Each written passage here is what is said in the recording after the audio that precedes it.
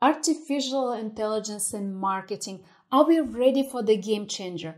Last week, we at Nanos AI received results from our user study conducted with 23 participants. The questions were rather simple. Here's a short description of a product, and here are two ads about it generated from the description. Pick the ad that you like the best and assess if it's grammatically correct. Overall, five sets of textual ads were presented. What participants didn't know that uh, one of the ads was generated by a human marketer and the rest by Nanos machine learning technology. We were very curious to see the results and guess what? Most users preferred ads generated by the machine. We were happy, but also baffled at the same time. It seems that the ad creativity, in particular the text, can be now solved without major human intervention. What does it mean for the armies of marketers who rely on this marketing task as their main value proposition for their clients? Marketing is not a science.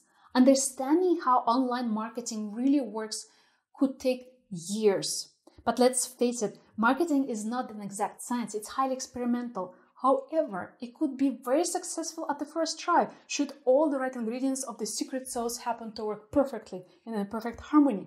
There are plenty of examples of successful marketing campaigns worldwide, but we don't know how many iterations and how long creators actually took to make a particular ad go viral.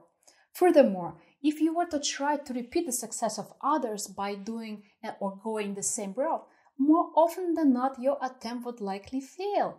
What we do know for sure is that over time, better decisions can be executed. For example, one could easily spend thousands of dollars on paid advertising only to find out that Facebook was in fact the wrong digital platform to advertise on. Or perhaps based on the marketing advice of an agency, you shifted your budgets to Google and then paid a designer and the copywriter to adapt your ads accordingly.